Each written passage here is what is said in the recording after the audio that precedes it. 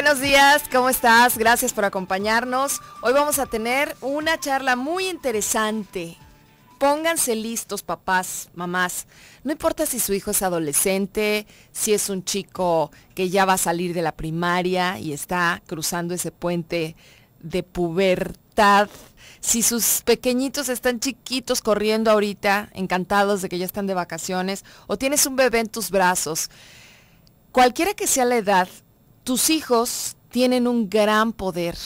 Hoy vamos a descubrir cómo se las van a ingeniar de la manera en la que pueden para que los padres y los adultos que estamos cercanos a ellos respetemos este poder y también les enseñemos a manejarlo, a administrarlo. Y es que la intención del programa del día de hoy es entender cómo, más allá de lo que eh, siempre buscamos que es prevenir abuso en los niños, bullying, ahora hay tantos temas que nos prenden el foquito para revisar si realmente nuestros hijos están eh, viviendo sus años de infancia con bienestar o si tienen temores o si están preocupados o si están en peligro. Más allá de abordarlo desde ese lugar, de cuidarlos o darles instrucciones para que se cuiden, vamos entendiendo cómo existe un poder intrínseco en, ellos, en su persona. Si quieres, y si, y si te invito, eh, me aceptas a que también puedas tú compartirnos lo que tú ves, lo que observas en tus hijos, en su diario actuar, sus acciones cotidianas, lo que te dicen, lo que quieren los niños y cómo lo, lo, buscan y lo consiguen. El poder de tus hijos es el programa del día de hoy. Nos va a ayudar a entender también mejor cómo, cómo es que está ahí frente a nosotros y podemos ayudarles a estas niñas y niños a, a sacarle el mejor provecho. Eh, hoy Clark Kofrot que nos va a auxiliar con toda su experiencia como coach y en este tema que es lo suyo de la reingeniería emocional. Bienvenido Clark, ¿cómo estás? Muy bien, muy bien, gracias Claudia y un saludo a todo tu auditorio. Pues bueno, ya estaremos con, lo que los niños y jóvenes dicen eh, con respecto a, a muchos temas que tienen que ver con ellos mismos, los otros, pero si hay un lugar en el que se les puede brindar recursos definitivamente va a ser en la familia. Y las vacaciones, hablando de eh, periodos como este, eh, son una gran oportunidad para que los padres y adultos observemos a esos niños y estos niños se nutran de nosotros. Definitivamente, sobre todo ahora en este, pues en estas vacaciones, que muchos de los papás quieren entretener a sus hijos pero más que entretener, como tú bien lo dices, la familia es el núcleo donde comienzan a, generarse y a crear, a alimentar, a crecer todos estos valores estos pequeños que lo van a ir absorbiendo en su vida y lo van a ir ejerciendo para poder tener este poder personal o este poder que vayan a, ejercer en su vida. Y sobre todo que tengan eh, pues las herramientas internas que tengan las herramientas para que produzcan los resultados que ellos quieran. No es nada más a ver cómo me va o a ver qué pasa. Entonces, en este seno familiar es muy importante que nosotros tengamos muy claro cómo poder proveerles estas herramientas a estos pequeños, porque esta es la edad donde se van a forjar sus valores. Es la edad en donde van a tener los cimientos para poder ser esos adultos, ser esas eh, personas que nosotros como papás buscamos y queremos en nuestros hijos. Cuando hablas de poder, ¿A qué te refieres, Clark? Definitivamente que la, palabra de poder eh, en el contexto que yo lo manejo en la parte de reingeniería humana, en reingeniería emocional, es muy diferente al poder que probablemente puedas ver en una, en una definición, una acepción de diccionario.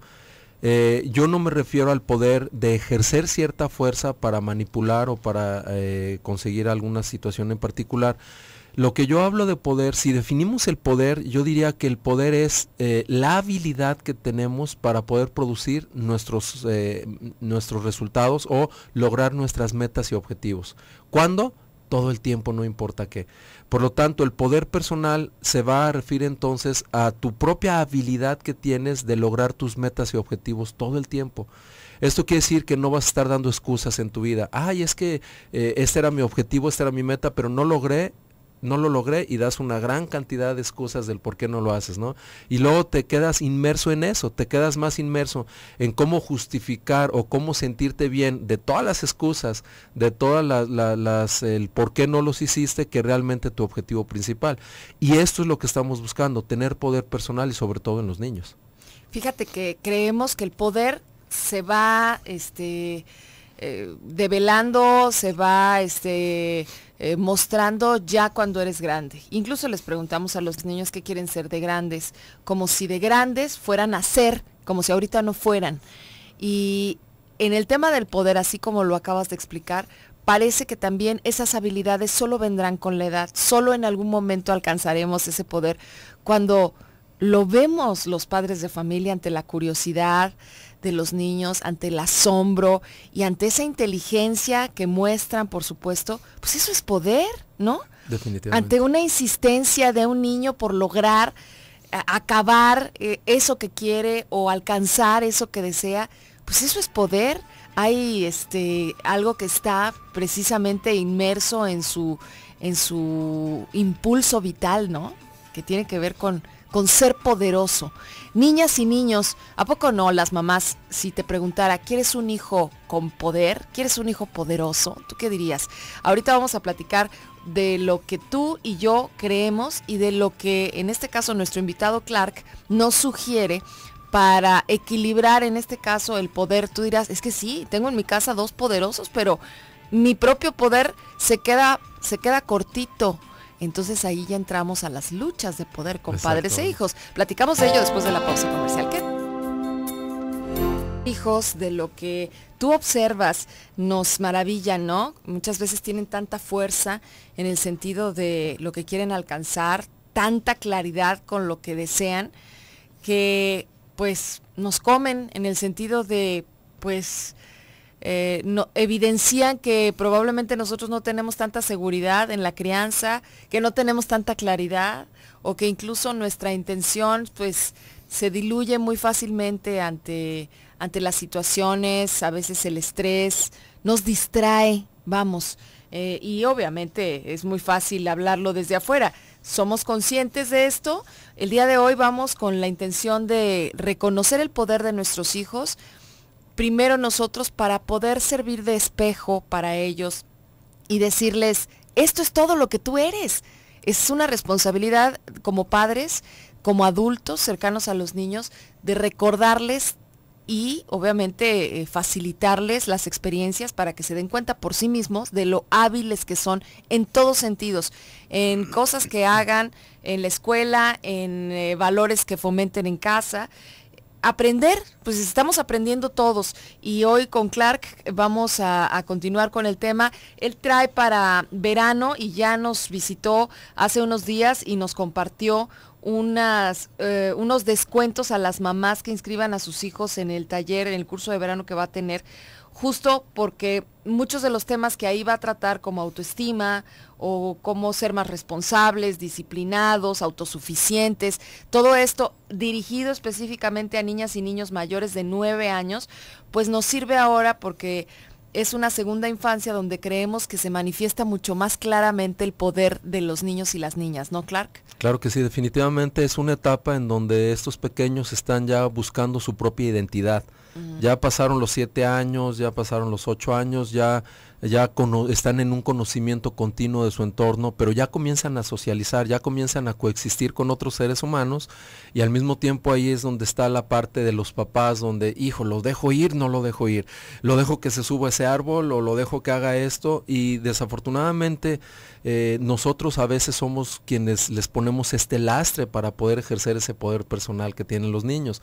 Y no lo, no, no lo hacen los papás en, en, una forma consciente, que eh, es algo muy importante resaltar, porque cualquier papá, si yo te pregunto a ti papá, a ti mamá que nos estás escuchando, pues quieres lo mejor para tus hijos.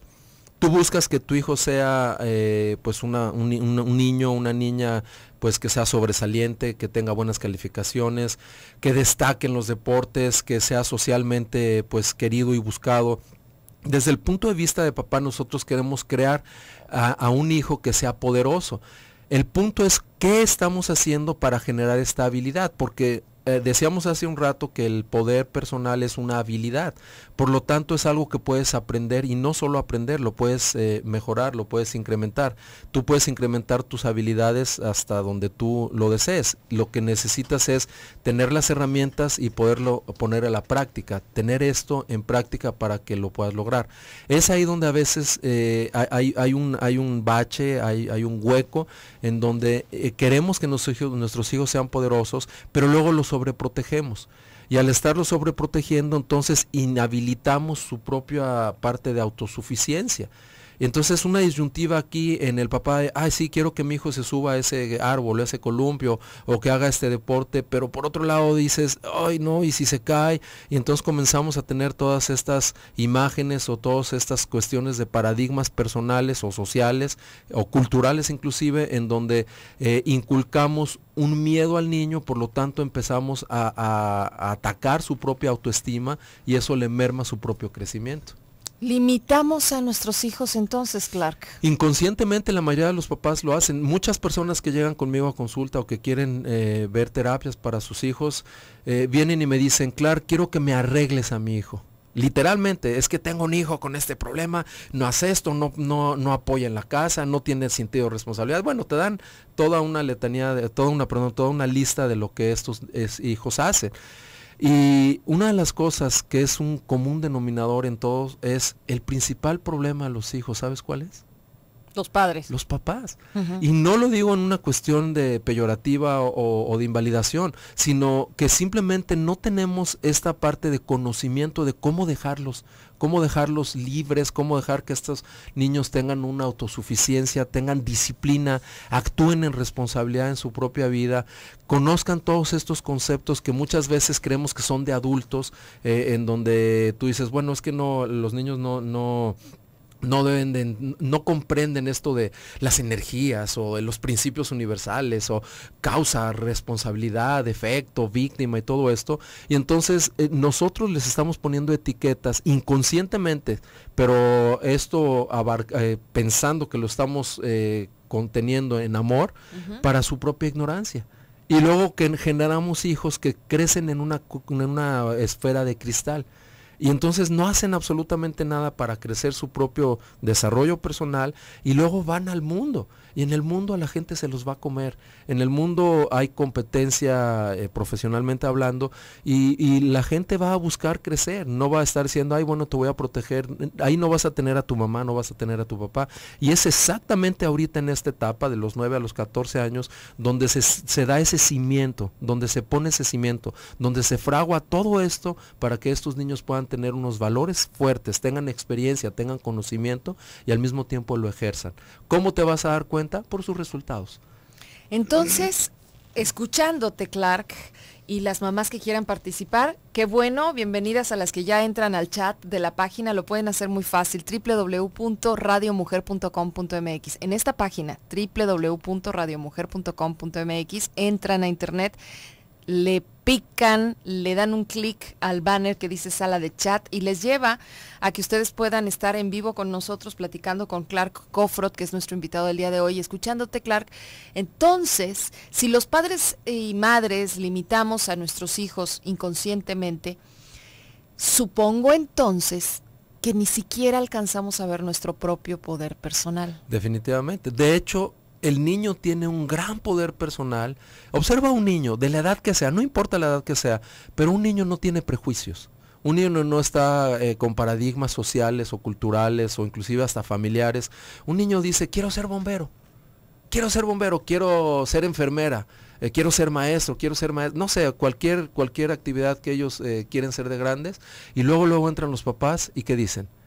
Piensas, oh, no, no. Imagínate la mente de un papá. No, o nosotros bueno, como papás, a ver, a ver, a ver, yo ahorita piensas bombero, viejito, te vas a quemar, estás muy chaparrito, inclusive dices, no, no, ganan dinero no ganan los bomberos, dinero, no, te vas, a, morir de hambre. Eh, eh, empezamos a transmitirle nuestros propios paradigmas, nuestras propias limitaciones a esos niños. Sin embargo, ese niño está creciendo eh, y está en, en una formación, está en un, en un, orden natural de crecimiento, donde es la edad donde se vale, es, es esa creatividad, esa iniciativa, esa intuición que puede tener el niño para poder pensar si quiere ser bombero y que va a salvar al mundo en su camión y ir por toda la ciudad y cuando ve un, un carro de bombero le pide papá, papá, sigue ese carro, o todo esto.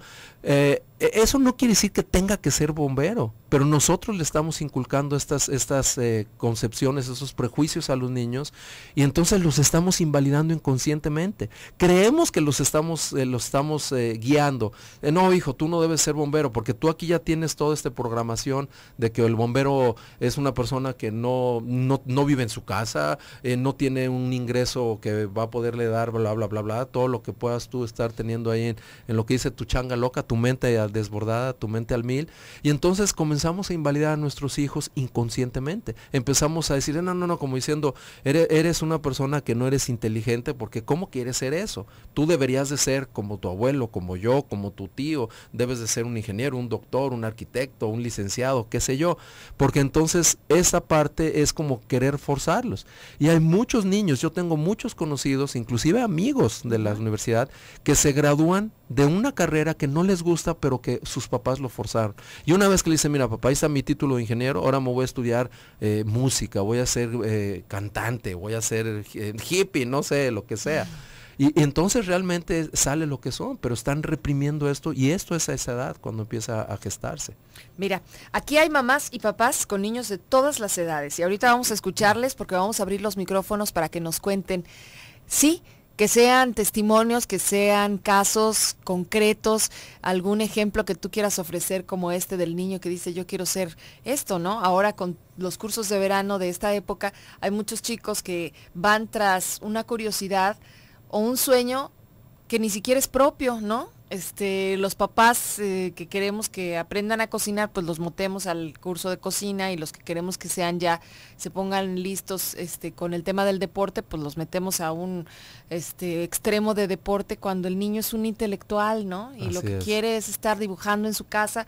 Bueno, creo que el, el trabajo de papás no se acaba e implica, por supuesto, también mucho y muy claro poder en nuestro sentido más esencial de, saber hacer y de tomar en cuenta al otro. Hoy seguimos platicando con Clark Kofrot, se van a obsequiar, este, ahorita nos dirá, para el curso que tiene de verano para niños mayores de 9 años después de la pausa. Qué bueno que te quedas aquí en Club de Mamás. Tianguis, o sea, pásele, pásele, pásele, vara, vara, vara. Hay mamás que se están comprando, vendiendo, cambiando. Eh, por ejemplo, la señora Vero, ella está buscando para niña unas botas vaqueras, así que, que le puedan vender, que estén en buenas condiciones. Talla 21. La señora Irma tiene dos vestidos de primera comunión y tiene unos tenis con llantitas, como patines. ¡Ay, qué lindo! Irma, aquí está, vendiendo sus cosas. Carreola doble, Angelina Montaño. Guillermina, ella busca una carreola para cuates. Y también tiene, eh, ahora sí que la necesidad de, una, de conseguir una silla para auto. Así que aquí se juntan las que venden con las que compran y ¿qué esperas? Lo puedes hacer ya, por supuesto, eh, anunciando tus productos seminuevos y no tiene ningún costo, es un servicio de Radio Mujer de Club de Mamás. Puedes llamarnos a cabina, nuestros teléfonos son 31 22 11 90 y 36 47 18 83 nuestros teléfonos en cabina y una línea nacional sin costo para nuestros amigos de Austin que quieren participar y contarnos acerca de sus hijos. A veces eh, lo que vemos parece no tener relación con lo que, o lo que estamos viviendo, con temas como estos que parecen como de escuelita, ¿no? A ver, escuela para padres. Y el tema es el poder de nuestros hijos. Y nos hablan de autoestima y nos hablan de cómo podemos nosotros fomentar en nuestros hijos que se sientan seguros, que se sientan, que sean responsables. Y suena todavía como muy lejano. Claro que si me dicen, le pones palomita, yo digo, sí, sí quiero que sea bueno, quiero que sea responsable, quiero que se sienta seguro, quiero que tenga claridad en sus objetivos, quiero que nadie abuse de él o de ella, quiero que se cuide, quiero que alcance a ver los peligros, quiero que eh, no sea de los adolescentes que salen de la escuela y no vaya a tener trabajo, quiero que tenga trabajo. Queremos todo lo bueno para nuestros hijos, Clark, pero sigue siendo como para los padres el reto de meter en los años de la infancia, en el todos los días, estos conceptos que luego parecen como, te digo, del libro. Sí, sí, los valores. Ay, me encanta esto de los valores en la educación. A ver, todos los días, cuando lo estás llevando a la escuela, cuando lo levantas, cuando no hace sus cosas, cuando no te obedece, eh, eh, ahí, ¿qué es lo que les decimos a nuestros hijos con nuestra actitud, con nuestro comportamiento? Claro, inclusive hablamos, por ejemplo, el tema de responsabilidad. Pero eh, la gente dice, tienes que ser responsable. Pero si tú analizas el término responsabilidad, es tu propia habilidad de respuesta. Es responsabilidad. ¿Qué tan hábil eres a responder? La pregunta aquí sería, ¿a qué? Entonces vamos a ver que la responsabilidad es tener una habilidad de responder a todo aquello que te afecta. Así que un niño chiquito, no importa lo que le esté pasando o por lo que esté, eh, por lo que esté pasando o lo que le esté pasando, es un pequeño que puede tener una habilidad de responder a aquello que le afecta. Y todo comienza desde términos tan sencillos como poder saber cómo o enseñarles a nuestros hijos a que hagan acuerdos. Queremos hacer eh, que nuestros hijos sean responsables, pero no saben hacer acuerdos. Y si saben hacer acuerdos, no saben cómo confrontar a alguien cuando no cumple sus acuerdos. Ay, sí, mijito, haz esto y yo te llevo el, tal día al parque. O te compro esto, o lo que sea. Y luego no saben los niños cómo confrontar no saben si, si este adulto, ya sea dentro de casa o fuera de casa, falló en, en, este acuerdo, cómo confrontarlos. Entonces necesitamos enseñarles desde la estructuración propia de cómo hacer una negociación. Y una negociación es algo que estamos haciendo constantemente en nuestra vida, constantemente estamos negociando. Para poder negociar necesitas saber cómo hacer un acuerdo, entender cuál es la estructura, cuáles son los pasos, cómo tienes que validar lo que estás acordando y luego documentarlo, que a veces no hacemos eso. Yo sé que te suena a que, ay, bueno, eso lo van a necesitar nuestros hijos cuando crezcan y tengan trabajo. Lo están necesitando ahorita. Pero bueno, en la escuela, en la casa, con sus hermanos, para que este, se libren de lavar los trastes, hacen acuerdos. A ver, no, mira, tú los lavas ahorita y yo saco la basura. Este, yo le doy de comer al perro, pero no, yo no quiero lavar el baño, ¿no? Pero luego, por ejemplo, aquí también hay que incluir lo que es una consecuencia. ¿Qué pasa si no lo haces? Porque hacemos muchos acuerdos, pero los dejamos ah, ah, eh, truncados, los dejamos a la mitad. Tiene que ser completo. Todo esto son cuestiones que tienes que tener inculcado en este pequeño, en estos niños, para que entonces ese cimiento, esa, esa parte donde van a construir su propia vida, esté sólida, tengan poder para poder crecer. Yo lo que veo, Clark, es que los papás dormimos y entre tanto estrés, nosotros hacemos todo. Y a los chicos Estoy hablando de los pequeños, chiquitos, niños de, de, preescolares, de 5, de 4, de 7, y los niños grandes, los que ya están como para ir a tu taller, mayores de 9, no les estamos pidiendo, deja tú exigiendo, pidiendo, no los estamos integrando a una dinámica. O sea, mamá hace de comer, papá paga la renta, este, em, hay ropa limpia mágicamente en los cajones, ¿sí? Este, los niños entran al baño y le bajan y se limpian con jabón, papel y todo que está disponible ahí para ellos. Yo no digo que ahora vamos a ponerlos a trabajar y que también le entren al gasto familiar. Digo que muchos niños no aprecian todo lo que tienen porque no saben ni de dónde viene, ¿sí? Y porque los padres de familia en el afán de estar chiquitos o es que es el más eh, es que es el último es el primero es que es hijo único es que las justificaciones que quieras no no ponemos no solo reglas y límites, sino no ponemos un plan por el cual ellos se vayan y les digamos, a ver, tú vas a aprender esto, eh, la, la, primera no lo vas a conseguir, pero vas a seguir intentando, te vas a hacer bueno en aquello y después irás como en los videojuegos subiendo niveles, pero no les tenemos a nuestros hijos ningún tipo de reto. Ni siquiera a veces los dejamos ser. Llega un niño y tiene su cuarto hecho un desorden. ¿Correcto? Entonces tus paradigmas son tienes que tener tu cuarto arreglado, pero el niño no tiene inculcado el valor de responsabilidad, no le, el valor de orden. Mm, ¿Cómo? Pero entonces ¿Cómo ordenarlo? ¿Cómo sería que digas, ok, está bien tu, tu cuarto, lo quieres tener así perfecto, pero mira, en este cesto que está aquí afuera es donde yo lavo la ropa Y si no pones tu ropa ahí, entonces no te la lavo. Pero luego, ¿qué pasa cuando el niño se va a la escuela y todo? Llega la mamá o el papá, ay, mi hijo, pobrecito, está muy estresado ahorita por esto y vas y le arregla su cuarto. No le lo estás enseñando a ser irresponsable. Pues bueno, fuera que estuviera en la escuela o haciendo cosas, están jugando videojuegos y decimos, ay, bueno, pues yo lo hago. Mientras está en la pantalla, mientras está en la tele, sí, es cierto, nuestros hijos tienen que gozar sus vacaciones como mejor lo quieran, pero esto no significa que se van completamente a olvidar de responsabilidades, probablemente ni siquiera las tengan, por eso es que tú dices, mira, otra vez acostadote, otra vez en la computadora, otra vez, bueno, es que a él no le han dicho, oye, yo espero de ti esto, esto, esto, esto. Eres capaz de hacer esto, esto, con esta edad que tienes, ya puedes. Pues no, nunca le van a pedir nada al niño porque pues todo lo hacen los padres. Y esto tiene que ver con todo, con el poder mío, mi poder de papá el poder de los papás en conjunto con el poder de los hijos mientras están entrando en esta etapa de poder ser autosuficientes. Es que ¿sabes cómo manifestamos el poder los papás? Con el grito. Sí. Pensamos que así es como expresamos nuestro poder. Y esa es una invalidación que luego marca a los niños. Ajá. O sea, cuando gritamos parece que entonces sí somos muy poderosos. Exacto. Pero la verdad me da risa porque ese, ese es porque soy tu madre, así muy enojado. Yo les digo en los talleres, mamás, eso significa en letras chiquitas porque no tengo la menor idea. Exactamente. O sea, entre más fuerte gritas y más ganas le pones al... Es porque de verdad no tienes un plan, no has hecho tu tarea como papá. Y bueno, la intención no es regañarnos, es aplicarnos.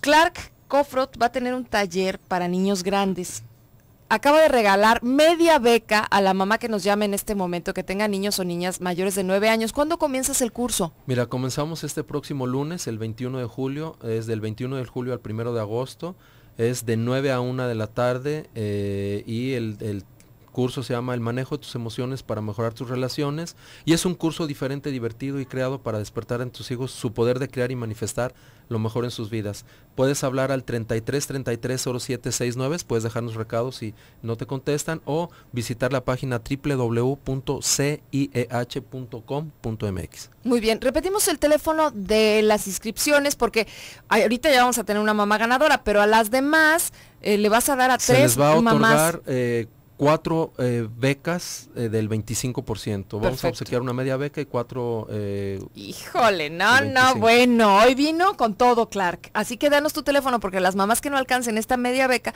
te van a llamar directamente ahí al centro. Claro que sí, el teléfono es 33 33 07 69. 33 33 07 69 y también búsquenlo por Facebook. Ahí acabamos de compartir este de su página en nuestro Facebook de Club de Mamás Clark. Muchas gracias. Al contrario, gracias. Ya nos vamos.